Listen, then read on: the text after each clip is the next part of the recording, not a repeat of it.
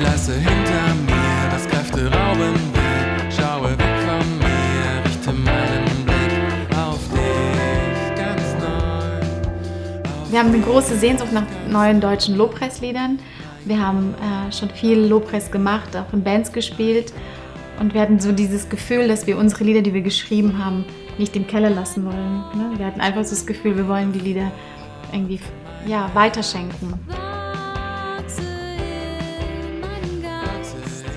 Loblied ist ein Kollektiv aus verschiedenen Musikern, die sich zusammengesetzt haben und wirklich äh, so ein Herz dafür haben, Gott anzubeten, vor Gott zu kommen und ihm die Ehre zu geben. Auf der einen Seite aber auch gleichzeitig so das Herz auszuschütten ähm, und ähm, in Gemeinschaft mit Gott zu kommen.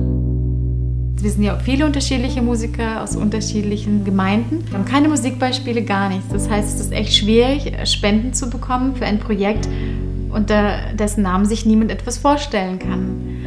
Und wir waren sehr, sehr entmutigt und drei Tage vor Ablauf der Start Next Aktion kam ein Anruf. Ein Anruf, ein großes Wunder. Carsten von Shift, die machen Telefone und andere Sachen, hat angerufen und gesagt, Gott hat ihm gesagt, er soll uns 45 Kopfhörer spenden, die wir dann als Geschenk praktisch weitergeben können und dafür äh, Geld sammeln können. Doch du bist die Sonne und du bist mein Schild. Vor dir müssen die Wolken ja fliegen. Aha, der Himmel reißt auf. Aha, spür, wie das heißt auf. Und ein paar Wochen später waren wir dann auch dort in Röhrsdorf. Und das Interessante ist, wir sind eigentlich alle ziemlich krank angekommen. Alle waren irgendwie ja müde und erschöpft und das ist die beste Voraussetzung eigentlich für dieses Projekt, weil Gott sagt, wenn, wenn wir schwach sind, ist er stark oder aus dem Lob der Schwachen baut er eine Festung und äh, das heißt, wir sind mit leeren Händen angekommen und haben uns von Gott einfach füllen lassen. Also die meisten von uns haben sich ja erst durch das Projekt kennengelernt. Und trotzdem war es unglaublich schön, die Gemeinschaft in der Woche zu, zu erleben. Ähm, das gemeinsame Essen und zusammen musizieren und die Gespräche. Das war einfach eine ganz gesegnete Zeit. Meine Schwachheit hältst du mir. Ich werde still in deine Gegenwart.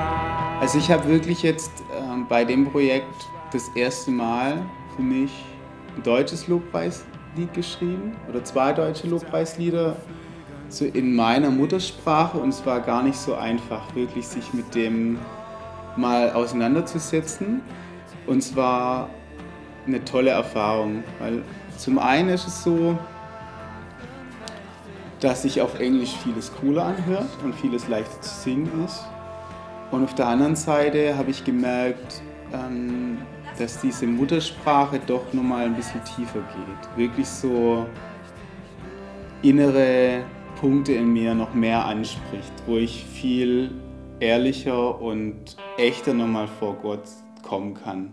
Und wenn es mir so geht, dann denke ich, dass es anderen sicherlich auch in ähnlicher Weise auch so geht.